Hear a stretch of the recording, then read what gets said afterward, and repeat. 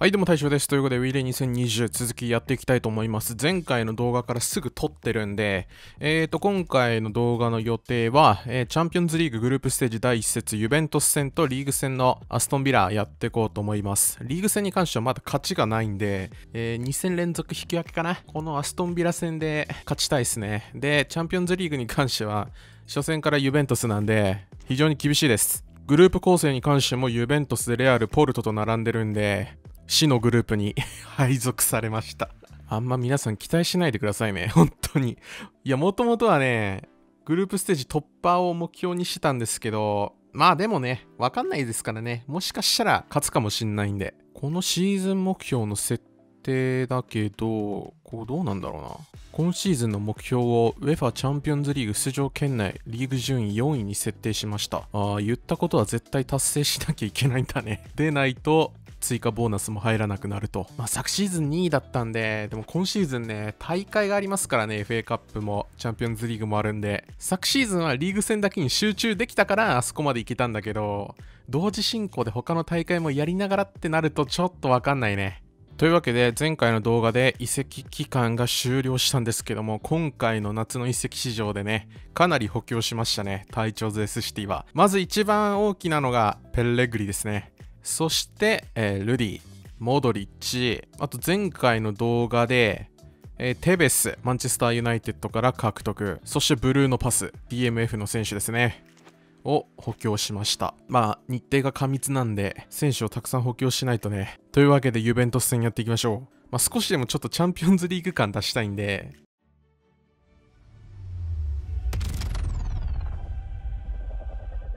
えー、っとね、そうだよね、ウィーレはチャンピオンズリーグ剥奪されちゃったんで、FIFA に。ちょっとでもちょっとチャンピオンズリーグ感出したいと思います、編集で。で、フォーメーションに関してだけど、ちょっとね、迷ってるんだよね。2種類用意しました。今使ってる4312。このフォーメーションは前回マンチェスターユナイテッド戦で使ってね、ユナイテッドの攻撃陣を封じたというか、いい戦いできたんで、ユベントス相手にも通用するんではないかなってちょっと思ってるんですけど、ただ今まで使ってたこの、まあ、4222、まあ、442みたいなフォーメーションなんですけど、これでいくかどうかですげえ迷ってる。でも前回の感触的には、こっちの方が今、乗ってるかもな。これ使おう。で、今回キーパーなんですけども、えーカメニがね、最近ちょっと絶不調続きなんですよね。なので、オットー・メリコフです。まだオットー・メリコフの 出番があるね。ここまで来て。初期からいますからね、オットー・メリコフは。で、4バック、エルキン、モンテーロ、アンパドゥ、ルカ・ジョルザ。で、アンカーにセバスティアン・ルディ、ジャッキー・ライス、えーモドリッチ、トップ下、久保。ツートップにキキアルカスにペレグリですね。これどうしよっか。ハードマークつけるかなどっちにつけた方がいいだろうイグアインかロナウドか。いやでもロナウドかなでもど真ん中のイグアインかなうん、でもちょっとイグアインにつけようかな。間違ってたらしょうがね。というわけでやっていきましょう。隊長ズ S シティは3シーズン目でチャンピオンズリーグ出場が叶いました。キーパーはペリンだね。一応ベンチにブッフォンいたけど。よっしゃー。久保もモドリッチも先発。よし、どうしましょう。最初攻撃的に行くか守備的に行くか。はあ、攻撃的で行こう。相手も攻撃的に来てる。モドリッチ。ルカ・ジョルザ。いや、もう、一つ一つのプレーがマジ大事だからな。トラップミスとかも、命取り。モドリッチ、オッケーオッケーオッケーオッケー。まずい。危ねえ。コーナー、セットプレー。ロナウドマーク、ロナウドマーク。お、ショートコーナー来たか。あー、抜かれた。そっち。ジャッキー・ライス、久保。オーケー。アルカス。あー、持ってないか。クリスティアーノ・ロナウド、オーケー。うーそう危ねえ。うわー空いてる。久保モドリッチ。オーケーオーケールカ・ジョルザからジャッキー・ライスエルキン。うわー爪が。早いぜ。引くね引くね。いいよいいよいいよ。久保。モドリッチ。オッケー。低いの。よーし。モドリッチ。ちょっと勢いがなかったっすね。でもようやくシュート打てましたもう一回久保。しっかりとつないでって引けアルカス空いてる。中。コーナー。ええー、ドキドキするな。チャッキーレース。オッケーオッケー。前半0-0うーん。前半ユベントスロナウドのシュート2本か。ちょっと守備的にしてみるか。おロングパス。オーケーオフサイド。狙った。まあキキアルカスにスルーパス出してもよかったけどね。どっち使ってくれと縦使ってきた。うわ怖っ。シュートが強烈すぎる。あイグアインが下がってケイタ・バルデ。えー、ケイタ・バルデユベントスなんだ。前向かせん。オッケーオッケーオッケーオッケー。うわうわええー。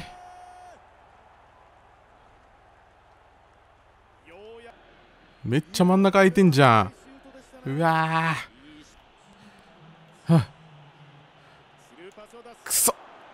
どっちどっち？おい。なんだその混戦。ヘイタ・バルデに2得点決められる。後半。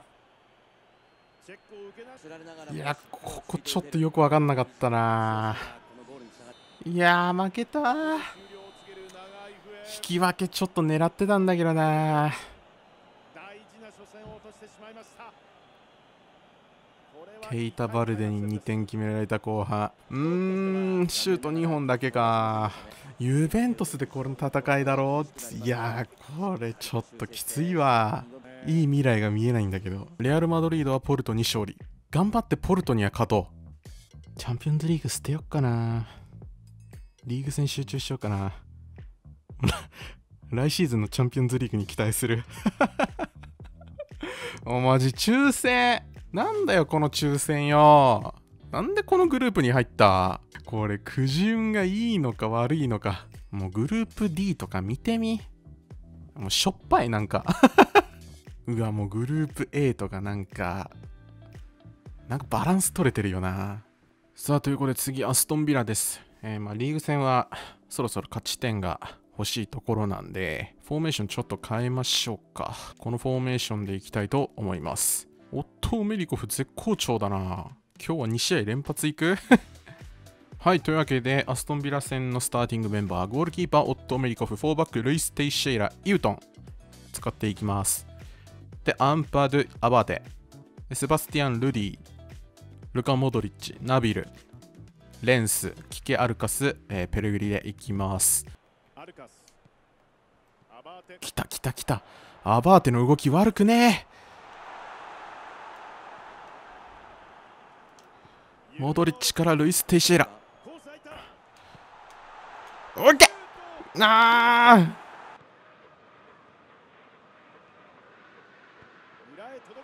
来た。いやいいスルーパスだったんだけど。はい。いや来た来た来た。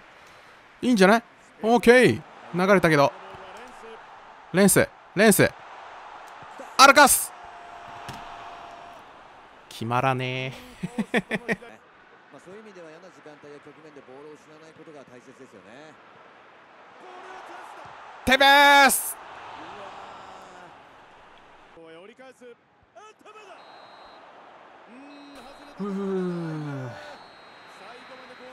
昨シーズンも同じだった大体最初はね、辛い。ここ我慢だな。エンジョイしながら勝っていくっていう感じでいこう。うん。まあでもアストンビラ相手に攻める姿勢は多かったからな。ポジティブに行きましょう。ポジティブに。ということで次回なんですけど、ブライトン戦だけじゃあ時間外でやって、クリスタルパレスとポルト次回やります。2週間後ぐらいには FA カップ2回戦サウサンプトン戦があるんでね。というわけで今回の動画はここまでご視聴ありがとうございました。バイバイ。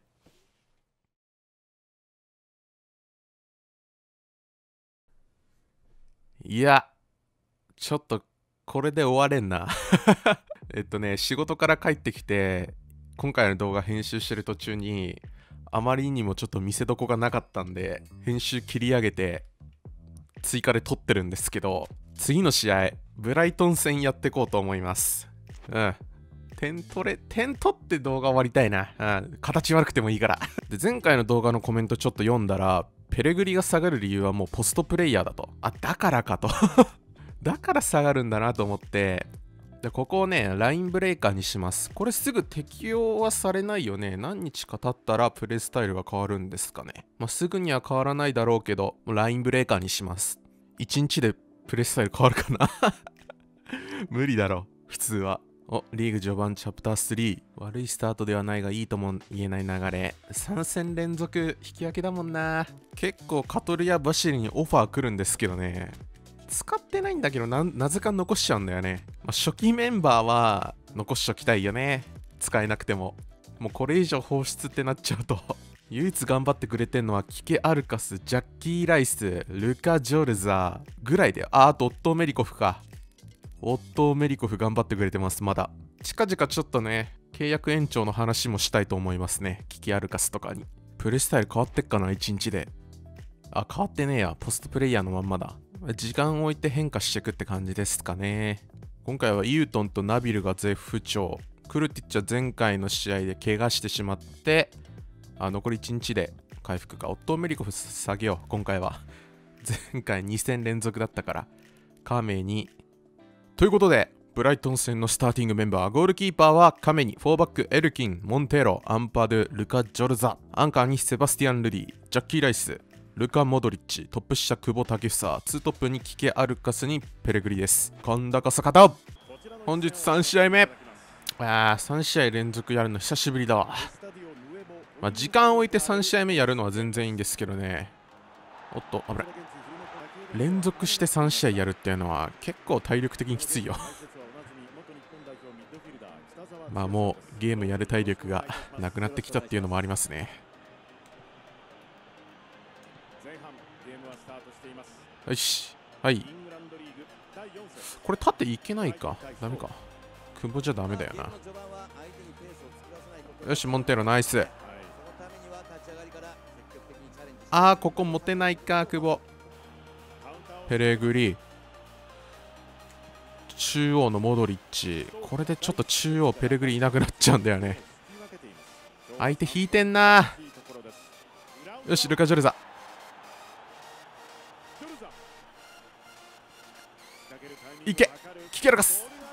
かそう隊長でさクロスからヘッドで決めるっていうの結構少ないんですよね。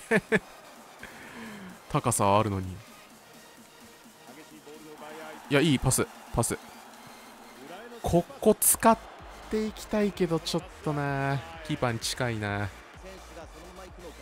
クロス来た。はいカメにナイス。ジャッキー・ライス。ジャッキーライス意外と足速い。よしよしよしよしよし。はい。はい。いけジャッキーライス。ナイスジャッキーライス決めました。みんな大好きジャッキーライス。決めた。全部ジャッキーライスの攻撃から始まったよねこれ。ナイス今シーズン初ゴールですジャッキー・ライス。動画でも初めてなんじゃない？ジャッキー・ライスのゴール。久保ナイス。うる。オッケー。キキアルカス2点目きた。安定のニアですよ。久保アシストですねこの試合これペレグリにパス出してたらカットされてたな。打てるときは打っちゃおうぜ。お右アウトサイドでニア。モドリッチ？ペレグリ？いや終わるのかそこで。いやでもいいよ。前半2-0ジャッキー・ライスとキキアルカスのゴール。もっと点取りたいな。2点じゃちょっと満足できない。もうここ3戦連続引き分けだったんで。やばい。あファールか。オッケー。よっしゃ。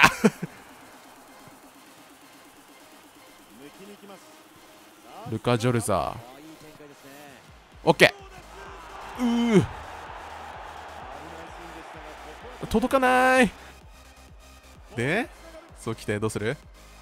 おーシュートうわ。何それ。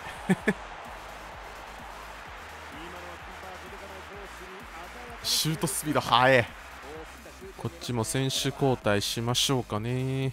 久保下げてネネ入れるか。ネネの方が総合値上ですからね。お疲れ。今回久保ワンアシストです。ちょっとブライトン攻撃的に来てるんでこっちちょっと守備的に行こう。守備的に行った方がねボールも取りやすいですし。ねえねえ。うんボールも回しやすい。ファールだね。ジャッキー・ライスに対してのひどいファール。走ってるアーロン・ムイひどい。ほいねえねえ。ライス。狙ってく。うわ早っ。まだあるはい。選手交代。両サイドバック変えますかね。ルカ・ジョルザ下げてアバーテ。エルキン下げてルイス・テイシーラ。もうサイドバックはねもうこのために置いてる。両サイドバック90分間持たないんでそのためにベンチはもう常に両サイドバック揃えてると。まあ攻撃的にしなきゃいいんだけどね。でも出ないと点決まらんのよな。ほんとね、サイドバック重要。あー、トラップおお。アバーテ。オッケー、ナイス。はい ごめん。いいね。よっしゃ2対1と勝てた、ようやく。今シーズン初の勝ち点3。スタッツはこんな感じです。シュート5本打って枠内5。ようやくの勝ち点3だから8位か。1勝3引き分け。あでもシティも同じですね。ボーンマス調子良すぎでしょ。クリスタルパレスもチェルシーがあんまりさおお3敗してるわチェルシー。今シーズンどうなるんだろうね。順位。そして中2日でクリスタルパレスです。まあ、ブライトン戦勝てたんで、ようやく勝ち点3取れたんで、もうこっからっすよ、タイチョーズ。波に乗ります。クルティッチが怪我から復帰。というわけで次回は、えクリスタルパレス、そしてチャンピオンズリーグ第2節ポルト戦やっていきたいと思います。ポルト戦には勝ちたいな。ユベントスには勝てなかったけど、ポルトだけには勝たないとね、まだやれる、ポルトだったら。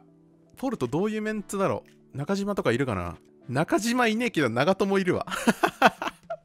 そっか、長友移籍してきたんだ。確か転生ですよね。え、中島どこにいんの？移籍しちゃった？もしかしたら。中島。2人いるんすよね。なぜかこっちは。あ、ナポリに行ったのか。で、もう1人は アルドゥハイル。2人いるっていうね。片方グランダーパスに星ついてねえんだけど。そっか、ナポリ行ったか。残ってほしかったな、ポルトに。あ、今シーズン移籍したのかな移籍交渉できない。一応リストアップに追加しとこう。27歳ですからね。もしかしたら獲得できるかもしんない。将来的に。あ、でもこっちの中島はどうだろう。こっちの中島の移籍交渉だと移籍金高 出せねえ。レンタルだとうーん、900万はかかるか。もうちょっと年齢がね、上がっていけば多分下がるだろうけど、まだ能力的には全然全盛期っていうのかな。そういや、チームに日本人はもういなくなりましたよね。あ、久保はいるか。久保だけ残りましたか。シュミット・ダニエルと原口はいなくなっちゃいましたからね。ドって言ったらもう銅が出てくる。銅は今、PSV にいるか。78、23。移籍金だとどんぐらいだ？うわ、高っえー、こんだけかかるんだ。まあ、いっか。日本人はしばらく久保だけでいいかな。はい、というわけで今回の動画はここまでご視聴ありがとうございました。